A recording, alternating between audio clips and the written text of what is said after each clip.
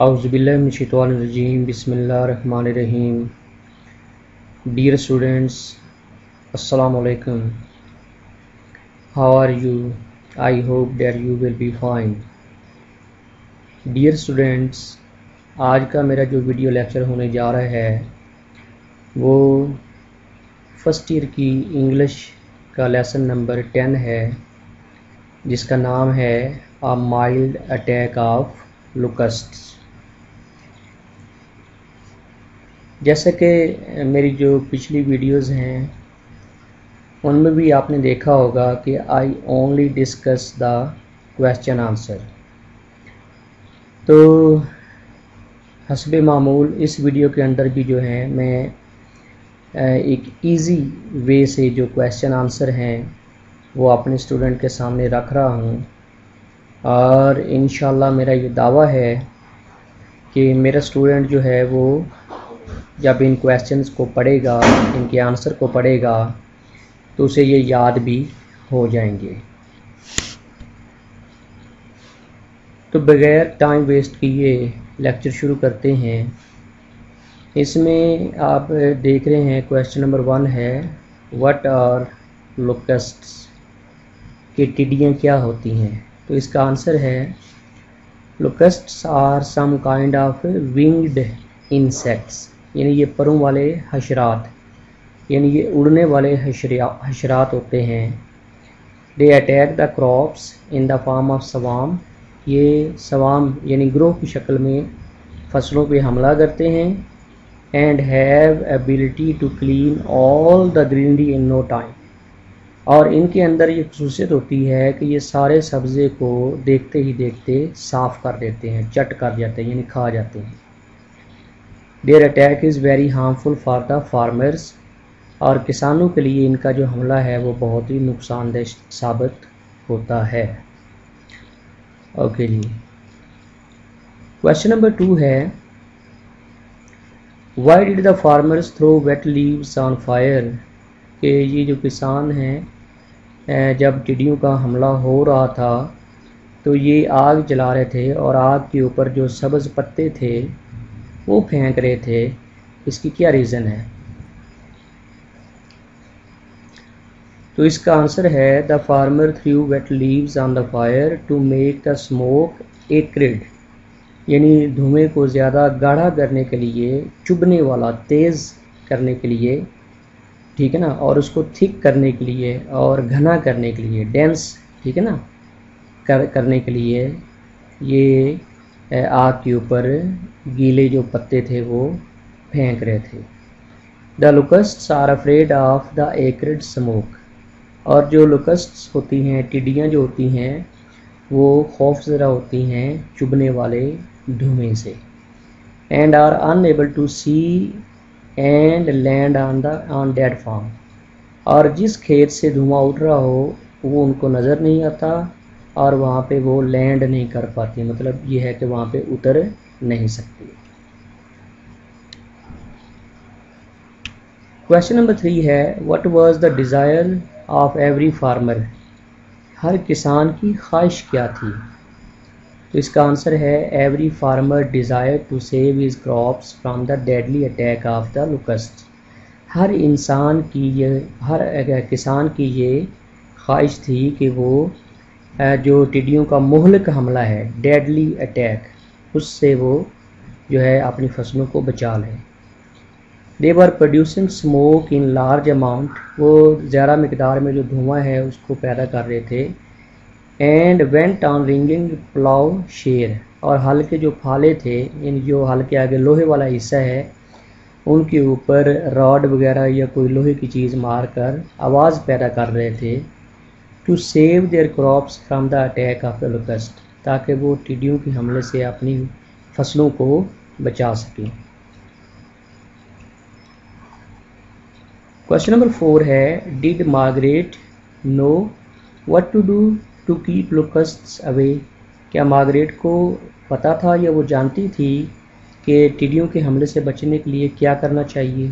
تو اس کا آنسر ہے no she didn't know how to keep the locust away اس کو بالکل نہیں پتا تھا کہ ٹڈیوں کو کیسے دور رکھا جاتا ہے فرام دا فیلڈس کھیتوں سے بٹ وین شی سادہ ولیجرز ڈوئنگ سو لیکن جب اس نے گاؤں کے دیہاتیوں کو کسانوں کو ایسا کرتے ہوئے دیکھا she knew how to keep the locust away from the fields تو اس کو پتہ چلا کہ یہ ٹڈیوں کے حملے سے بچنے کے لیے کیا کرنا چاہیے کوشچن نمبر فائیو ہے what was the condition of the trees درختوں کی حالت کیا تھی؟ تو اس کا آنسر ہے the trees without leaves were looking very queer queer ہوتا ہے عجیب. کوئر اینڈ اسٹرین یعنی بڑے عجیب و غریب. بغیر پتوں کے درخت جو تھے، وہ بڑے عجیب و غریب لگ رہے تھے. Their boughs were clotted with insects clotted with پر ہجوم بھری ہوئی تھیں. اور ان کی شاخیں جو تھیں وہ ٹڈیوں سے بھری ہوئی تھی۔ کوشچن نمبر سکس ہے how did old Stephen treat the stray locust stray locust کا مطلب ہے آوارہ بھٹکی ہوئی جو ٹڈی ہے which he found on his shirt یعنی مین سوام سے ہٹ کے ٹڈی جو ہے وہ اس کی شرٹ پہ آ بیٹھی۔ تو جو اسٹیفن تھا اس نے اس کے ساتھ کیا سلوک کیا؟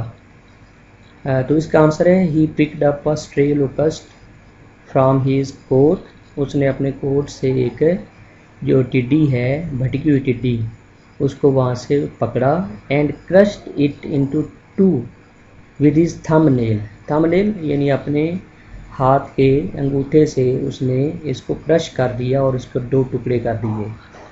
It was clotted with eggs inside یہ اندر سے انڈوں سے بھری ہوئی تھی۔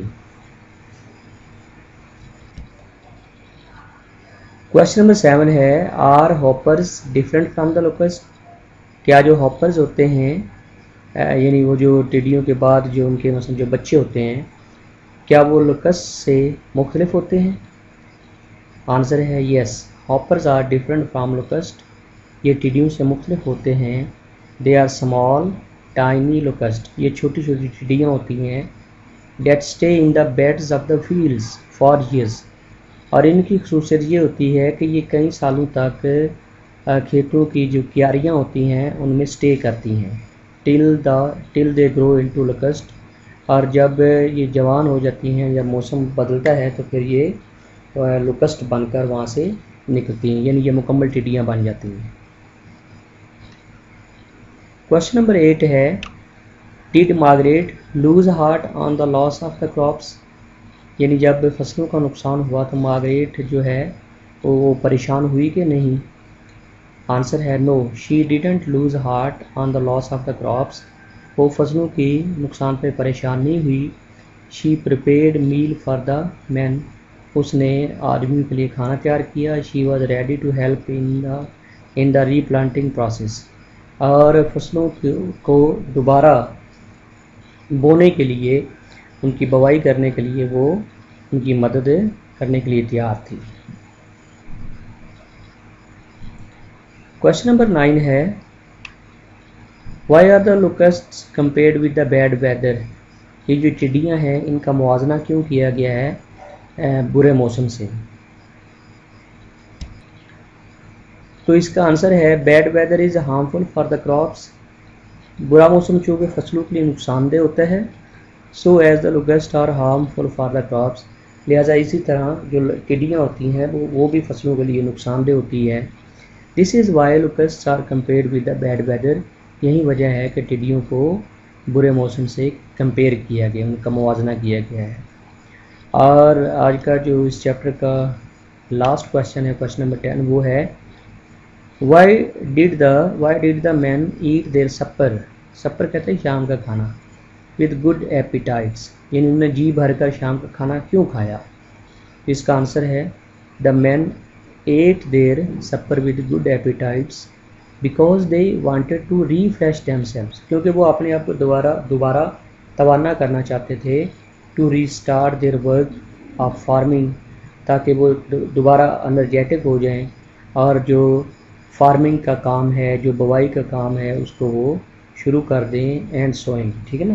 فارمنگ کے لیے اور سوئنگ کے لیے، اپنے آپ کو انرجیٹک کرنے کے لیے ان نے پیٹ بھر کر جو ہے وہ شام کا کھانا کھایا۔